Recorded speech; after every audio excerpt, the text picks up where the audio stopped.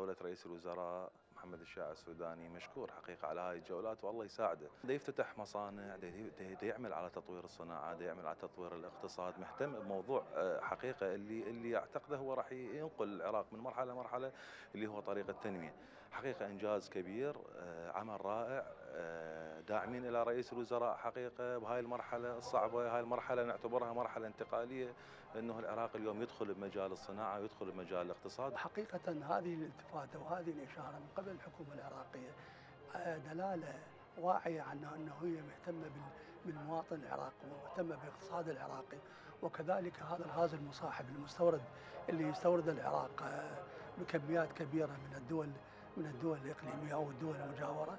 آه، حقيقة يقلل يقلل يقلل من الاستيراد من هذا الجانب. السيد السوداني ذهابه إلى البصرة لافتتاح آه، العديد من المشاريع في آه، محافظة ميسان ومحافظة البصرة أعتقد الغاز المصاحب في حقل الحلفاية في محافظة ميسان الذي وصل إلى الإنتاج فيه إلى نسب متقدمة بعد أن كانت نسب الإنجاز بحدود ال50 الآن ارتفعت إلى أكثر من 60%.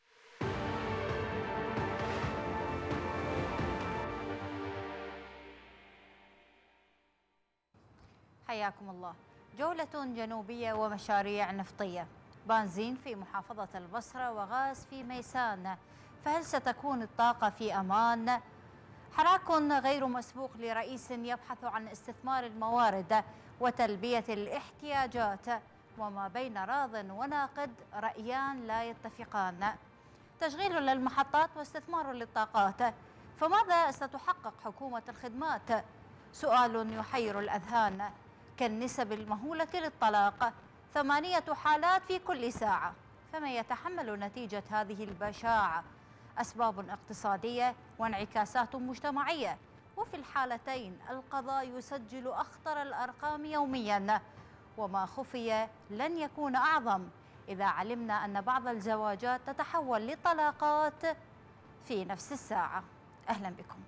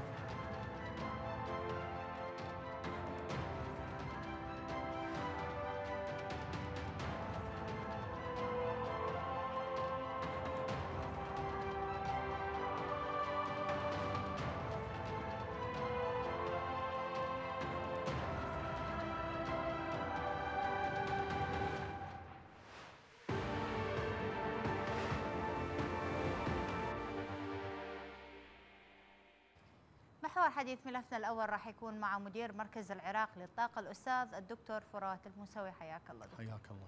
أهلا وسهلا. دكتور ما أبرز المشاريع التي تم افتتاحها اليوم في ميسان محافظة البصرة؟ نعم مساء الخير عليكم جميعا والساده مشاهديكم الكرام. أهلا حقيقة اليوم الجولة اقتصادية فنية عالية المستوى.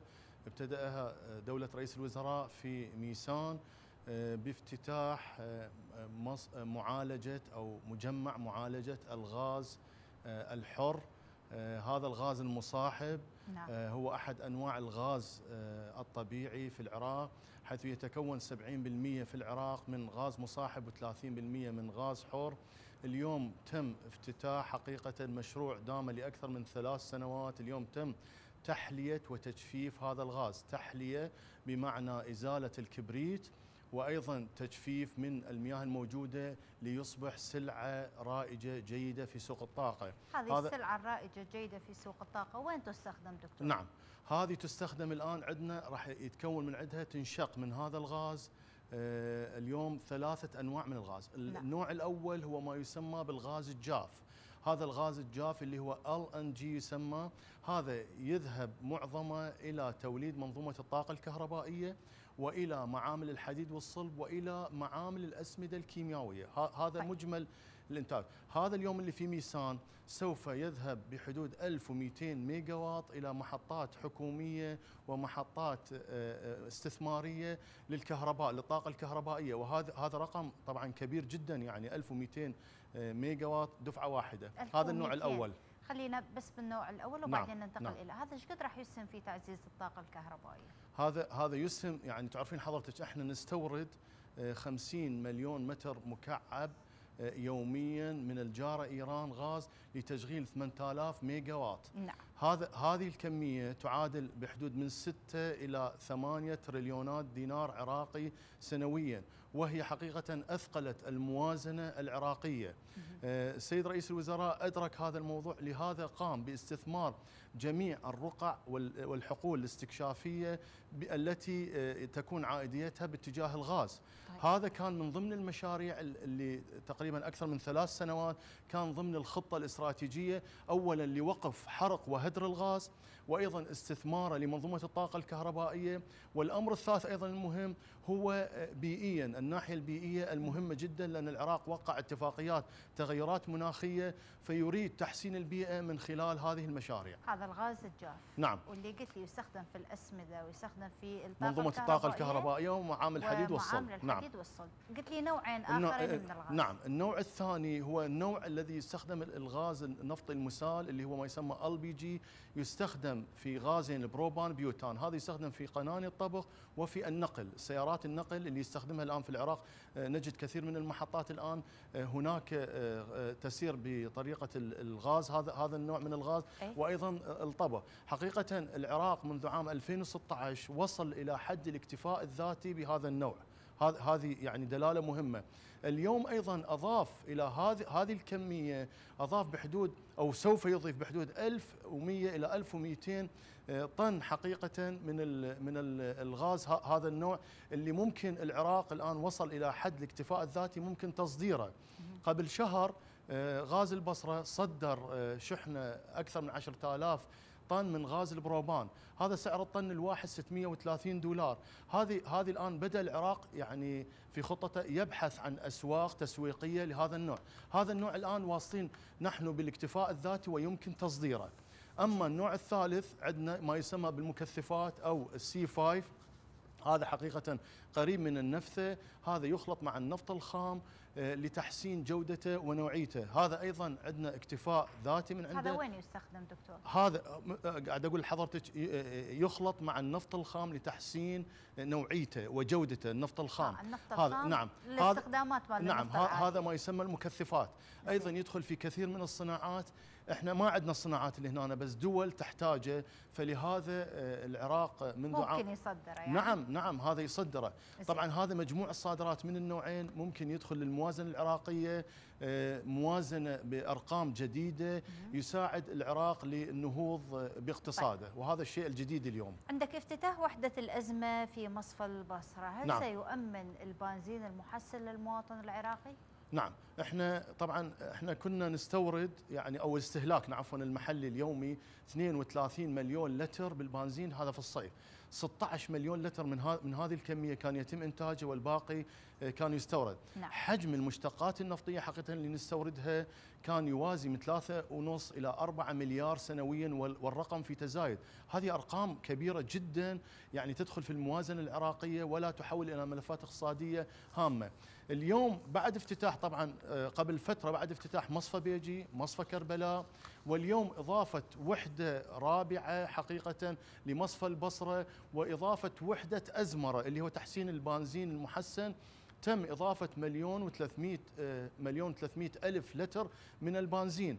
الآن مجمل ما آه، يعني ما موجود بالعراق آه، قد تعدى أكثر من 24 مليون لتر من البنزين وهو في طريقة إلى الاكتفاء الذاتي من هذه من هذا المنتج آه، مع نهاية السنة. نعم. مثل ما هو آه، يعني خلص الآن آه، زي- زيت الغاز الآن والنفط الأبيض الآن قد وصل إلى اكتفاء الذاتي. بعد هذه المرحلة حقيقة سوف يبدأ العراق بتصدير هذه المنتجات. قبل التصدير شلون نشوف مدى مساهمة هذه المشاريع في تطوير قطاع الطاقة؟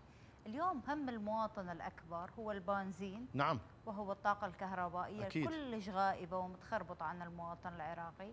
فالمواطن يقول لك أنا إيش راح أستفيد من هذه المشاريع؟ حقيقة ست فرح هذه استراتيجية استراتيجية جديدة بإرادة وطنية أصبح ملف مهم جدا بإشراف الحكومة العراقية بإشراف السيد السوداني بشكل مباشر هذه إحنا معظم مشاكلنا ليس فقط السكنية بواسطة كهرباء، أيضا تأخير أي مشروع صناعي تجاري هو بسبب آه، فقدان القدرة على توليد الكهرباء. الآن مع وجود استثمارات غازية الآن سوف ندخل إحنا طبعا عندنا توقيتات زمنية مع جولات التراخيص الخامسة والسادسة نحتاج أقل أقل فترة ثلاث سنوات وأقصى فترة خمس سنوات، سوف نصل إلى حد من الاكتفاء الذاتي وليس كلي وإنما اكتفاء ذاتي أولي في الغاز الجاف اللي هو المولد للطاقة الكهربائية. وهذا وهذا ينقلنا إلى مرحلة نمو اقتصادي جديد. هذا من جانب. جانب آخر بالنسبة للبنزين اللي كان هذا يستورد بأرقام كبيرة 3 إلى 4 مليار مشتقات النفطيه هذا هذه هذه المبالغ سوف تحول إلى ملفات اقتصادية هامة في الدولة. أيضا ستوفر فرص عمل كثيرة لشباب خريجين اللي هو في أمس الحاجة الآن يعني معظم المشاكل الشباب في المناطق النفطية في البصرة في ميسان في الناصرية هي بسبب يعني هذه شعلة الغاز اللي تحترق وحقول النفطية. قد العراق يخسر سنويا باحتراق الغاز المصاحب. حقيقة آه، يعني الرقم حاليا ما أملكه لأن هذا متفاوت بس الرقم رقم كبير جدا.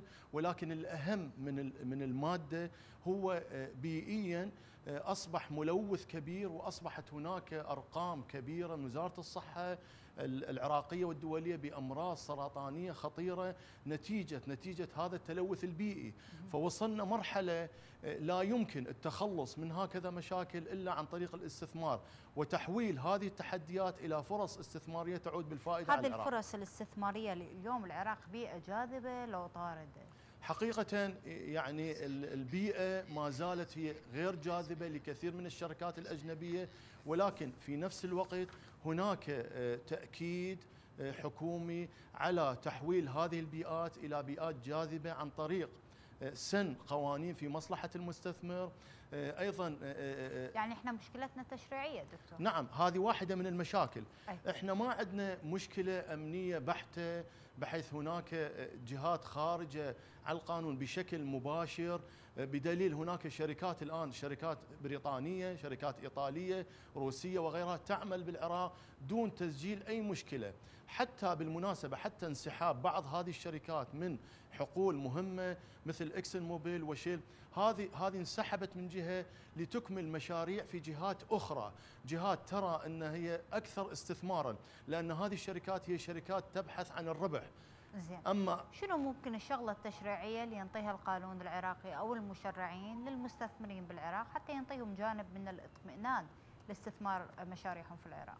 نعم. آه، في زيارته الأخيرة السيد السوداني لواشنطن وكذلك لحضور المؤتمر الاقتصادي العالمي في الرياض يعني بدأ يعني وجه البرلمان ووجه البنك المركزي بسن ضمانات مالية تحفظ حقوق هذه المستثمر زي. حقيقة هذه في السابق لم تكن موجودة بشكل حكومي رسمي الآن هذه هذه ثبتت رسميا بحيث أن المستثمر عندما يأتي هو يأخذ قرض من بنك دولي يريد أن, أن يجد بيئة مناسبة تحفظ الأموال.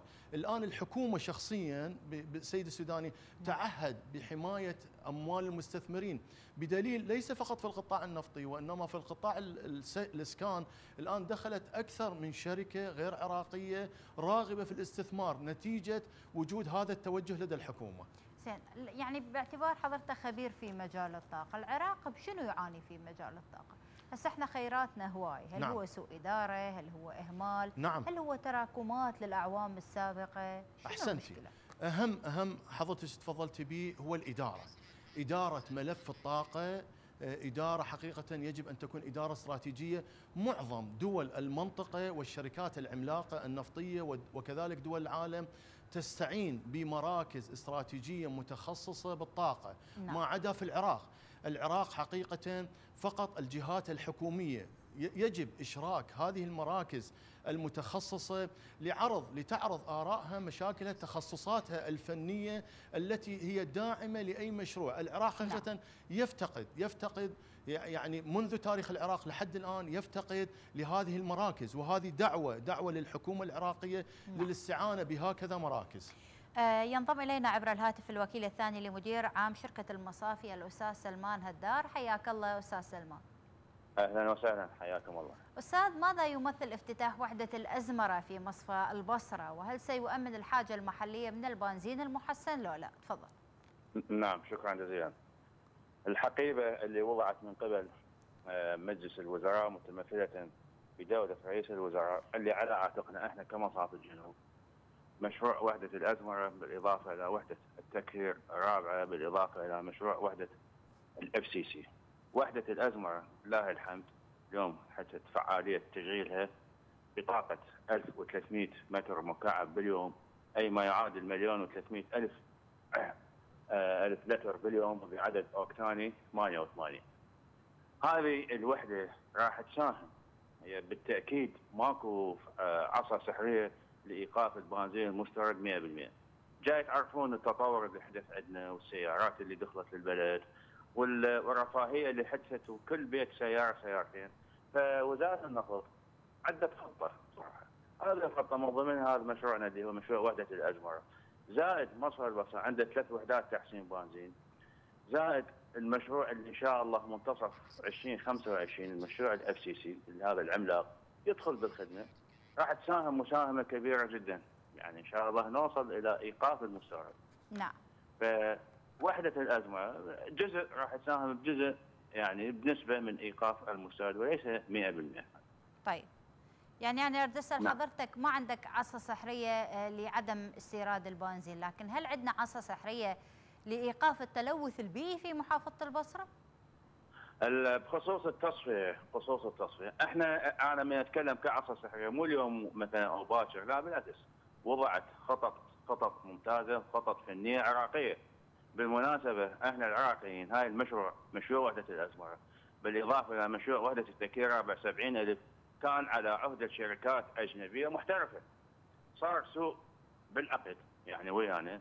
انفسخ العقد من دولة رئيس الوزراء نفذ هذا المشروع بأيدي عراقية 100% من كادر هندسي وكادر فني وفق تقنيات وفق يعني فلسفة عمل رائعة جدا وضمن يعني أنا برأيي يفضل ان تدرس هذه المشاريع اللي دخلت هيئه العمل. هذه المشاريع إحنا حاليا هسه كلها مضمنة ضمن المحددات البيئية حتى مشاريعنا آه، وخطوطنا القديمة اللي نفذت بالستينات أو بالسبعينات حاليا دخلناها تحت الصرامة البيئية نعم. تحت المحددات البيئية أول شيء يعني نحد من الملوثات البيئيه ثاني شيء هاي مبالغ فلوس رجعناها على حوض البنزين المنتج. يعني ما يعادل 400 إلى 500 متر مكعب باليوم حوالي نص مليون لتر باليوم. ضمناه وين حوض البنزين المنتج للأسواق المحلية وعاملين به إحنا شركة طيب. مصاف الجنوب شكرا نعم. جزيلا الوكيل الثاني لمدير عام شركة المصافي سلمان هدار. شكرا جزيلا على كل ما تفضلت به من هذه الإيضاحات. ينضم إلينا عبر سكايب مدير هيئة الإنتاج في شركة نفط ميسان كاظم صالح حياك الله أستاذ كاظم. ما أبرز المشاريع التي تم افتتاحها في محافظة ميسان وما مدى مساهمتها في تطوير قطاع الطاقة في ميسان والعراق عموما.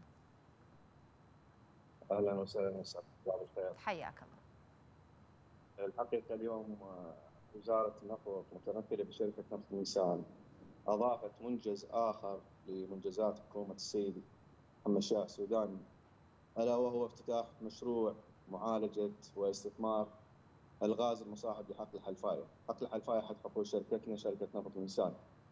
الحقيقة هذا المشروع راح يعالج كمية بمقدار 200 مليون قدم مكعب قياسي. آه، آه، هذا هذا غاز معالج. جاف محلى. الطاقة التصميمية لهذا المشروع هي 300 مليون قدم مكعب قياسي. راح تعالج لنا بحدود ال 200 مقمق النواتج الأخرى نواتج عرضية أخرى اللي هي الكبريت بحدود ال 40 طن وهذا اتفاق مع شركة سومو لبيع هذه الكميات من الكبريت. نعم. كذلك منتج اخر اللي هو الغاز المسال أو أو ما يسمى بغاز الطبخ. الحقيقة آه هذا الغاز ال LPG أو ما يسمى بال LPG بحدود ال 2400 طن في اليوم. منها 500 تقريبا راح تروح للاستهلاك المحلي لمحافظتنا. والباقي إلى التصدير، الحقيقة المرحلة الحالية راح نعتمد على حوضيات شركة توزيع المنتوجات النفطية لنقله إلى آه، آه، مناطق تصريف أخرى في البلد آه، للمحافظات الأخرى. المنتج الآخر الرابع اللي هو المكثفات، المكثفات ال C 5 plus وهذه المكثفات الحقيقة هناك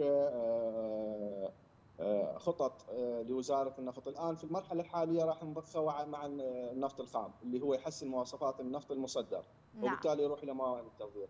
المرحلة اللاحقة نحاول يتم استثماره من خلال مستثمرين والحقيقة هناك شركات استثمارية عديدة قدمت عروضها لدى وزارة النفط والآن في طور الدراسة. طيب تعرف وتصنف محافظة ميسان على أنها من المحافظات الفقيرة. إلى أي مدى ستساهم الحكومة عن طريق استثمار الطاقة في هذه المحافظة في تحسين الواقع الاقتصادي لمحافظة ميسان؟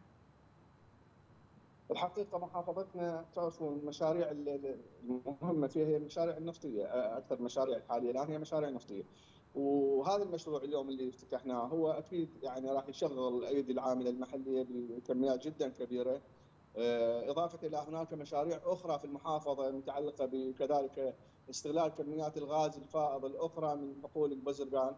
إضافة إلى جولات التراخيص الخامسة والسادسة اللي أكيد راح تنفتح حقول إضافية أخرى وبالتالي تشغيل الايادي العامله، اليوم إحنا مشكلتنا مع آه، تشغيل آه، ناسنا ومواطنينا فأكيد هذه المشاريع راح تفتح فرص أخرى فرص إضافية لناسنا وشبابنا إن يشتغلون في مشاريع. نعم، اذا دكتور سمعت الرأيين من المسؤولين أنه مشاريع جيدة ستقلل من نسبة البطالة وستحقق فرص استثمارية جيدة هنا في العراق. نعم. لماذا تعلق على ما تفضل به ضيفي؟ نعم صحيح تماما. العراق آه، ماضي حقيقة من جنوب العراق إلى شمال العراق باستثمار جميع الرقع الاستكشافية والحقول النفطية لأن آه، يعني في ضمن المنهاج الحكومي لدى السيد رئيس الوزراء هو الاستثمار الأمثل للنفط والغاز. الآن هذه المشاريع تحقق هذا الاستثمار الأمثل للنفط والغاز هذا أولا. ثانيا آه، يعني الشيء الملفت للنظر والشيء الجيد أن هذا لن يكون في محافظة دون غيرها بل سوف يشمل هذه الاستثمارات تشمل اللي بخصوص الطاقة سواء الغاز أو النفط تشمل جميع المحافظات. وهذا وهذا شيء جديد. يعني محافظات مثلا البصرة هي كانت يعني معروفة بالنفط. ميسان أيضا ناصرية. بس أكو رأي بالشارع يقول لك البصرة تصدر النفط وهي المنتجة للنفط لكن ما محصله على امتيازات. تعطى نعم. للمحافظة لتعيش أفضل من مثيلاتها باعتبارها أنه تتحمل مصدر تلوث كبير نعم حقيقة تتحول تتحمل مصدر تلوث كبير تحتاج لهذا أنا قلت في البداية تحتاج الموضوع هذا الملف يحتاج إلى إدارة إدارة وإرادة وطنية آه، إدارة عادلة إدارة العراق نعم. ولاد بالخبرات نعم. نعم. يعني إحنا عندنا لكن إدارة سياسية ممكن هنا يعني ما نتفق عليها بشكل إيش تقصد بالإدارة السياسية لهذا الملف يعني مثلا إحنا مثل ما قلت لحضرتك الحكومة الآن آه، عليها التوزيع العادل في هذه المشاريع الاستثمارية.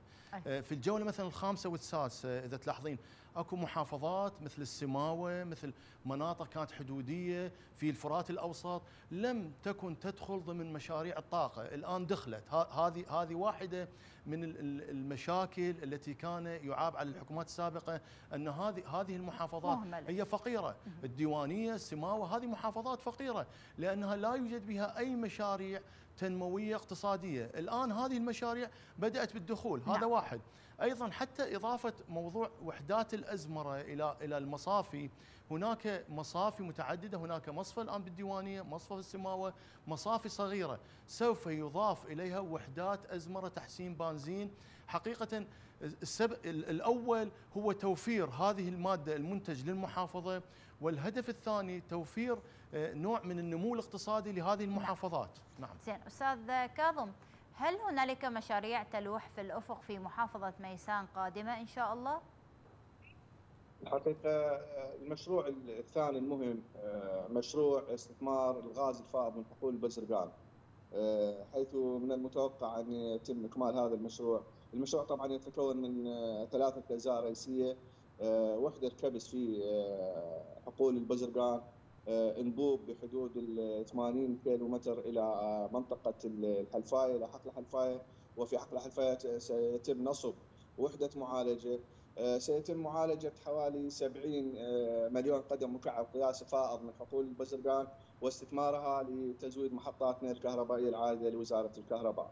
هذا المتوقع أن يتم إنجازه خلال العامين القادمين إن شاء الله. إن شاء الله. إذا دكتور فراد تتوقع ماذا يعرقل لا قدر الله هذه المشاريع هذه المشاريع نعم. بدت الحمد لله وتبدو جيدة لكن المواطن يسأل يقول لك دائما البدايات جيدة لكن من نجي نحققها على أرض الواقع نصطدم بمعرقلات شنو المعرقلات لا. اللي ممكن أن تعرقل هذه المشاريع نعم حقيقة لحد الآن لا يوجد ما يعرقل هذه المشاريع السبب الأول إذا نظرنا من النظرة السياسية جميع هناك دعم من جميع الكتل السياسية لمشاريع الحكومة التنموية الاقتصادية في مجال الطاقة. نعم. وهذا وهذا شيء آه، يعني أكثر من جيد. هذا الاتفاق آه، لم يشهده في الحكومات السابقة. هذا جانب. أيضا هناك تشريعات قانونية لحفظ آه، الاستثمارات الشركات الأجنبية. وهذا أيضا شيء جيد سوف يعزز من من وجود هذه الشركات. أيضا قوانين الاستثمار آه، دائما هناك آه، لجنة الطاقة البرلمانية، لجنة الاستثمار في البرلمان دائما تعد. مثلا إحنا اليوم عندنا آه، القراءة تمت قراءة أولى وقراءة ثانية لمشروع الطاقات المتجددة. هذا هذا واحد من المشاريع المهمة الداعمة لتوجه الحكومة. هذه حقيقة الأمور مجتمعة تسير باتجاه واحد دعم الحكومة. الحكومة لا يمكن أن يعني تقصد القرار السياسي متفق مع طبعا. الحكومة. هذا هو هذا أهم أهم أهم نعم. شيء. إن كان هناك اتفاق في القرار السياسي فالأمور سوف تمضي بشكل إيجابي. طيب أستاذ كاظم بصراحة هل هنالك اتفاق سياسي في محافظة ميسان على النهوض بواقعها الاقتصادي؟ طبعا أكيد. كل آه، رجالات السياسة في محافظتنا هو عملهم الأول والأخير هو كيفية النهوض بواقع محافظتنا أولا وبلدنا أكيد وبالتالي توفير فرص إضافية لناسنا وشبابنا والقيام بحملات إعمار لمحافظاتنا الجنوبية اللي عانت ما عانت فبالتالي يعني أكيد القرار السياسي هو قرار فيه توحيد من كافة الأطياف السياسية نحو التوجه لهذه المشاريع الاستثمارية ودعمها ونجاح. نعم. شكرا جزيلا أستاذ كاظم صالح مدير هيئة الإنتاج في شركة نفط ميسان. حياك الله شكرا جزيلا على كل ما تفضلت به. أيضا الشكر لمدير مركز العراق للطاقة الدكتور فرات الموسوي. شكرا جزيلا, شكرا جزيلا وحياك الله على كل ما تفضلت به من هذه شكرا. الإيضاحات. إذا ملفنا الثاني راح يكون عن نفتح وياكم طبعا بتقرير الزميل شيبان سامي. لنتابع هذا التقرير أولا.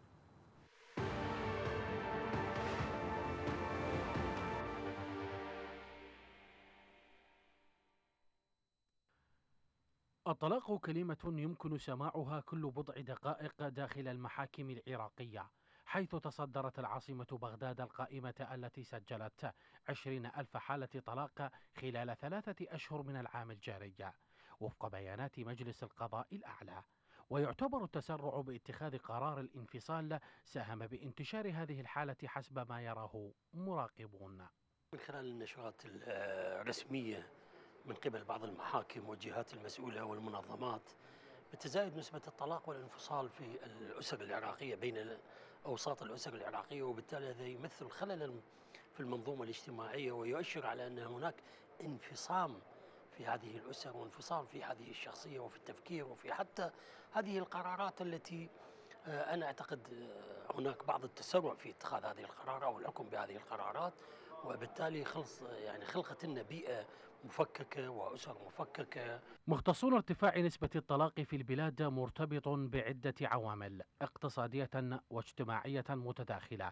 ناهيك عن الزواج المبكر وتعتبر حصة الظروف المعيشية الصعبة هي الأكبر في الوقوف وراء ازدياد حالات الطلاق وبلوغها مستويات خطيرة التي غالبا ما يدفع ضحيتها الأطفال. لازم المجتمع لازم يصير عنده توعية إنه شنو الأسباب هذه لازم نبتعد عنها، يعني مثلا الناس اللي يتورطوا بمواضيع المؤثرات العقلية لازم نوديهم على مصحات نعالجهم. آه، موضوع القاصرات لازم نحد ونقف ضد زواج القاصرين، ضد زواج القاصرات، بالإضافة إلى العامل المادي يجب على الدولة بكافة مؤسساتها وبمفهومها العام أن توفر وسائل عمل للشباب حتى يكون عنده عمل، عنده مصدر رزق يقدر يصرف به على زوجته، هنا راح تتوقف. يحتل العراق المرتبة الثامنة بعدد حالات الطلاق بين الدول العربية. وسط مطالبات بتجفيف هذه الظاهرة التي باتت تفتك بالمجتمع. من بغداد شيبان سامي الأيام الفضائية.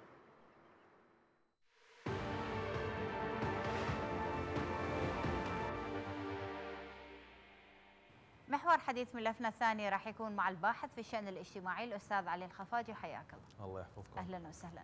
كما أرحب كل الترحيب بالخبيرة القانونية أساور العزاوي حياك الله. أساور أساور النجم. أهلا وسهلا بحضرتك. أساور النجم. أبدأ معك أستاذ علي. آه، ثمان آه، حالات طلاق في الساعة. رقم مخيف. شنو أسبابه؟ بسم الله الرحمن الرحيم. السلام عليكم ورحمة الله وبركاته. حقيقة نشكر قناة الأيام على هاي المبادرة الجميلة. وتسليط الضوء حقيقة على هاي المشكلة الاجتماعية اللي آه، أصبحت حقيقة اليوم حديث الشارع العراقي. نعم. بما أنه لها تداعيات كبيرة وخطيرة خلينا نشوفها أكيد أنه آه، ثمان حالات مثل ما ذكرتي وأكثر. إحنا عندنا إحصائية دقيقة طبعا حسبناها من خلال ساعات الدوام ومن خلال الدوام الأسبوعي. من خلال كل شيء طلعت عندنا 51 حالة طلاق بالساعة. هاي 51 51 حالة طلاق بالساعة. هاي معلومة دقيقة حقيقة. إحصائية 2023 إحصائية رسمية من مجلس القضاء الأعلى واللي الجهات المسؤولة 73 ألف بالسنة. هذا رقم حقيقة يخلينا إحنا اليوم كنا نفكر بهذا الموضوع وحقيقة لازم أنه يجب على الحكومة ويجب على الأهالي ويجب أيضا على منظمات المجتمع المدني حقيقة العمل الحقيقي. خلينا نرجع على الأسباب. شنو السبب؟ الطلاق عقد مقدس. شنو سبب أنه صار بهالسهولة حالات الطلاق؟ أكو بعض القوانين بعض القوانين اليوم جزء رئيسي حقيقة من من ازدياد حالات الطلاق. والنقطة الثانية حقيقة اللي اللي طلقناها اليوم آه، أطلقنا عن اليوم عندنا كان ندوة اسمها آه، حملة كفى طلاق حقيقة. آه، وجهنا آه، أنظارنا وجهنا اللوم على أولياء الأمور والعائلة العراقية أيضا. يعني شيء متراكم أصبح. شيء متراكم. إحنا بالنسبة لنا اليوم نقول نرجع هسه من 1920 من تأسيس الدولة العراقية. لحد 1958 مجتمعنا العراقي كان 90% مجتمع أمي. ما كانت عندنا حالات طلاق لكن لكن وما كان القانون اليوم أيضا راح أرجع أناقش نعم. وياك هذه النقطة بال, نعم. بال بالتفصيل لكن نعم. أسمع آه، رئيسه اساور آه، نجم آه، ست ذكر الأستاذ عندنا خلل قانوني أو بسبب القوانين تكثر عندنا حالات الطلاق يعني ممكن تسلطي لي الضوء على هذه النقطة بالذات الحقيقة القانون ما له ذنب ليش نحمل القانون كل الذنب لأن يقولون البعض وأنا أنقل لحضرتك رئيس الشارع أنه ينصف المرأة أكثر من الرجل. فالمرأة ما قامت تخاف. قانون وياها تقول لك أنا أطلق واللي يصير يصير. لا هو قانون الأحوال الشخصية استمد من الشرع. فإحنا ليش نكون مجحفين بهذا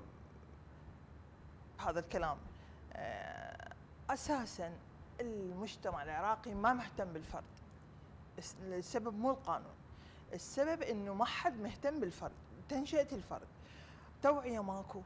قبل كان الولد والدة يقعد وياه ينصحه والدته تنصحه. هي ما لها علاقة بالتوعية لأنه الطلاق جاي يحدث في فئات مثقفة جدا واعية ودارسة حتى من عائلة دينية ست أساور. خلينا نكون منطق يعني منطقيين.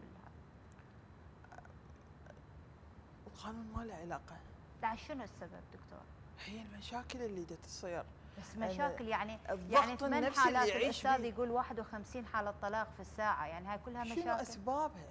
ما أعرف. أنا أسأل أسبابها. مادية أسبابها جنسية وأسباب أخرى. زين أغرب حالة طلاق باعتبار حضرتك خبيرة قانونية سمعتيها. والله عندي أنا هواي أنا صار لي 26 سنة محامية. أغرب حالة سمعتيها. أكو حالات هسه الغريبة هذا ال- ال- الشذوذ الجنسي. إنه يتزوج هو هو يدري بروحه شاذ. يعني غير مو, مو رجل كامل. أي. نصفه رجل ويدعي ان نصفه الآخر امرأة. ويقدم على خطبة امرأة. أي. ويتزوج. يعقد عقد قران ويتزوج ويصير هاي بس ما يصير دخول. فهذه إحنا هاي أبرز الحالات اللي هسه استجدت هذه أصبحت مشكلة. زين اذا أستاذ علي لحالات أكو حالات أخرى وهي حالات الشذوذ الجنسي. برأيك ليش وصلنا إلى هذه المراحل؟ أول شيء يعني أنا أحب إنه اعتب على على الدكتورة إنه أني حقيقة ما أقبل إنه يتم آه، إلقاء.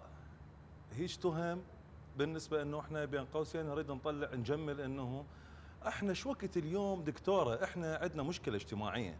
شو وقت إحنا نطلع من النفس اللي إحنا ندافع على الامراه لو ندافع على الرجل إحنا المتبنين واللي دا نقترح واللي دا نسوي ندوات ترى مو همنا بس الرجل إحنا همنا العائلة العراقية دكتورة. اني هاي الإساءة للرجل العراقي حقيقة ما أقبلها لا. بس هي ما قالت إساءة اني قالت بس لك الشرع اسمحي لي إحنا بس اسمحي لي أنا أقول لك فد نقطة.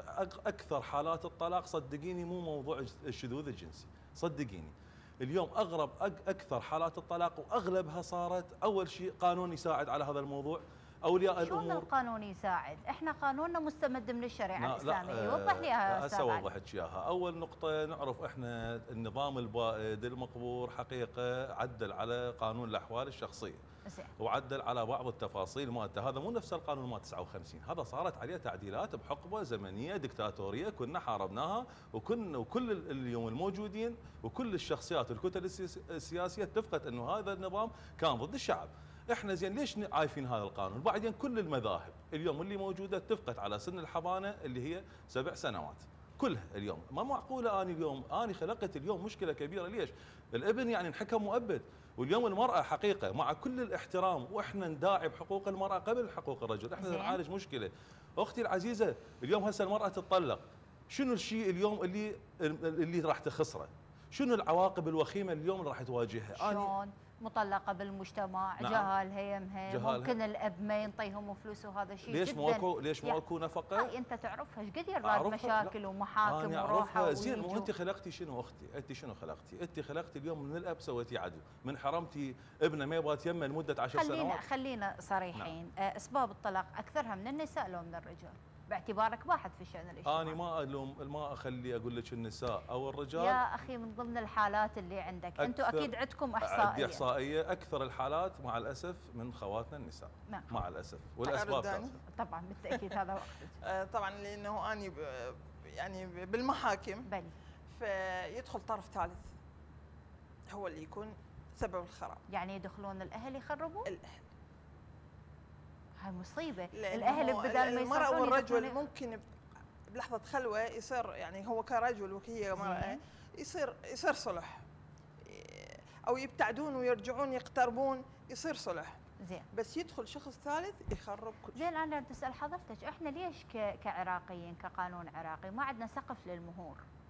يعني هسه اللي يريد يتزوج 30 مليون صارت تجارة للمرأة، خلينا صح. نكون منطقيين، صح. يقول لك أنا ياخذ 15 حاضر. و30 غايب وانفصل على الرجال، أنا عندي فلوس أبدي مشروع وممكن ألقى لي غير زوج. ليش ما عندنا سقف للمهور؟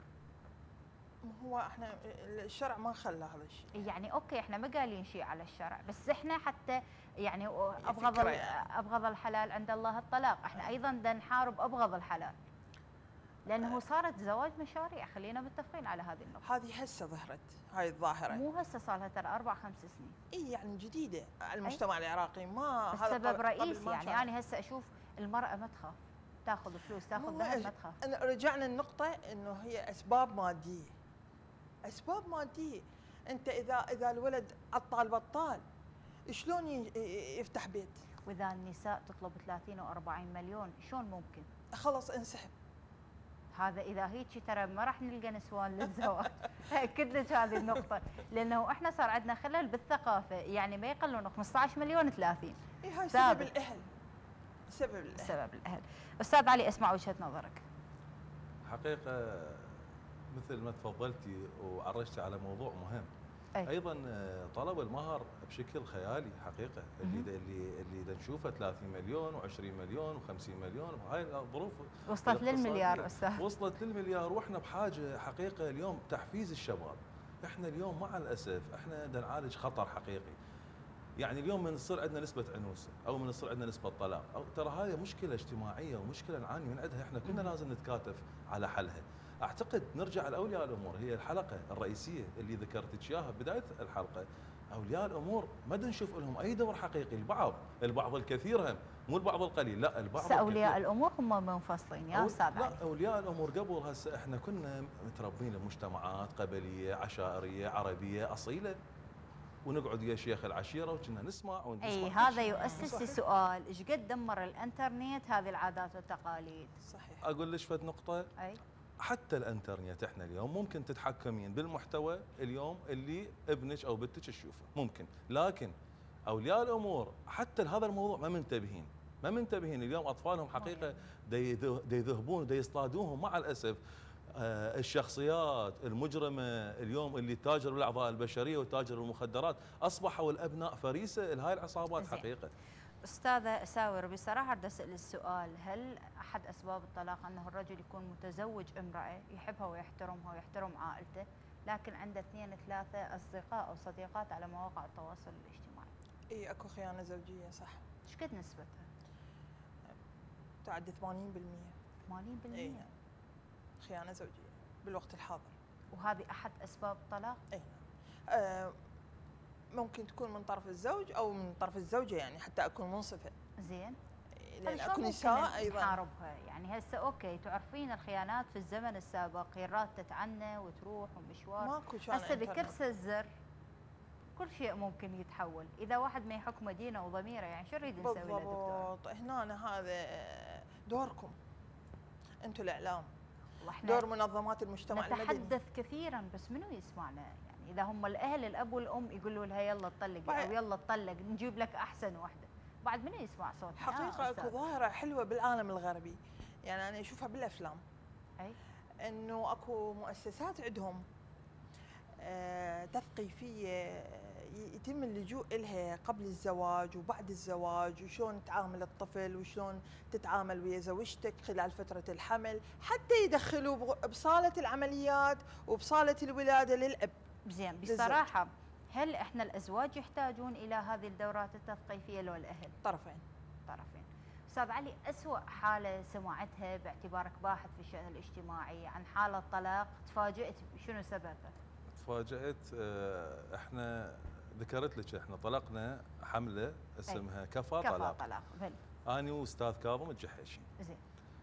اجتنا من- صار لها تقريبا بحدود السبعه أيام زين. وصلنا العو 26 آه، حالة عالجنا فضل من رب العالمين. وعندنا 16 هاي حالة. 26 كانت حالة إصلاح بين الأزواج حالة إصلاح زين. بين الأزواج يا الله ال- الشيء اللي يؤلمني طبعا من خلال هاي الحالات من الشمال للجنوب إحنا عندنا محافظات ما عدا أقليم كردستان ما شفنا أي حالة إنه حقيقة. اللي جتنا إحنا إحصائيات ناخذ رسمية. ما جتنا حالة خيانة زوجية لكن إجتنا أسباب تافهة.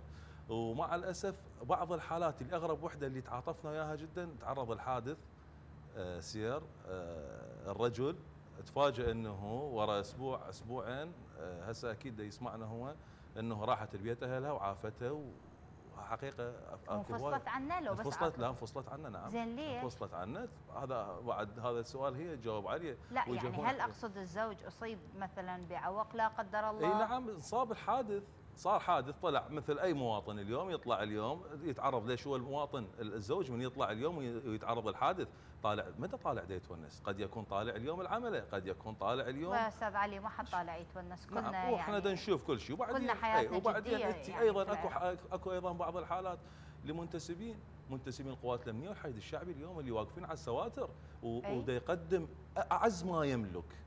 إلمن غير دفاعا عن شرفه وعن بلده. شنو أبرز القضايا تتعلق آه، آه، رجع للبيت أخذوه وموجوده حالات موجودة آه، طلبت الطلاق وراحت البيت اهلها وأخذت جهال أخذت جهاله أيضا وأخذت أطفاله من عنده. والقانون وياها بالتالي. والقانون. العفو بس إصابة سببت له عوق طبعا طبعا يعني إصابة أي نعم نعم. ما يقدر. لا أي ما يقدر نعم إصابة نرجع. نعم أي نعم. نقطة إنه أكو إخفاق مسألة جنسية يعني. واكو اكو وبعدها ما لحقت يا ست أساور يعني ما. يهم ما يهم زوجها بالمستشفى بعد 15 يوم ترجع تنفصل عنه السبب يعني واضح. وين الأخلاق وين الدين وين المعايير اللي. تحكم المجتمع السبب واضح هل والأهل هل جيلنا هذا اليوم يعاني من نقص بهذه القيم؟ اي جيل الحقيقة جيل ما مثقف وبعيد عن الدين إن كانت المرأة النظرة غير جيدة للمرأة المطلقة. هل العمل اليوم ساهم بأن تكون المرأة محررة عندها راتب عندها نفوذ عندها طبعا سلطة؟ أكيد. لذلك ما تخاف من شيء اسمه طلاق؟ أكيد. وكثرة الحالات الطلاق يعني أصبحت مسألة عادية. صارت مودية لحالات الطلاق؟ لا ما كشيء أعتقد. من الموضة لأن أنا أشوف الآن يعني صديقتها تتطلق ترجع للبيت تطلب الطلاق. لا، هسه ما أعرف عدوى شنو مدى لا ما أعتقد. الموضوع. بس قلت لك هي أكو المجتمع أثقل بأ- بأمور بهموم فأثرت عليه يعني انعكست على على العائلة. باختصار أستاذ علي هل أصبح الطلاق موضة في المجتمع العراقي؟ والله مع الأسف أصبح موزه مع الأسف. قاموا احتفالات. كنا نشوف إحنا على مواقع التواصل الاجتماعي يسوون حفلات كيك ودنباوع آه، أيضا فيديوهات يسخرون. مع الأسف هاي الإمرأة العراقية طبعا هاي رسالة من خلال قناتكم. الإمرأة العراقية اللي حقيقة ينضرب بها المثل بتربيتها نعم. وبصبرها وكل اللي سوته. مع الأسف قاموا إنه يوصلون صورة آه، احتفالات وكيك وهاي الأمور. وأيضا أيضا يعاملون أكو فيديوهات أكيد طلعتوا عليها شلون يعاملون الأب وشلون يعني يطلقون عليه مع الأسف مسميات غير لائقة نعم. والابن موجود. مع الأسف. مع الباحث في. الشأن الاجتماعي علي الخفاجي شكرا جزيلا. الخبيرة القانونية أساور النجم شكرا جزيلا على ما. تفضلتي به من كل هذه الإيضاحات. شرفنا. أهلا وسهلا. قبل لا أروح وياكم لموجزنا الخبري خلونا نشوف أبرز الآراء المطروحة على منصة إكس والتي جاءت بوسم زواج النورين لإحياء مناسبة ذكرى زواج الأمير عليه السلام بسيدة نساء العالمين عليه السلام. لنتابع.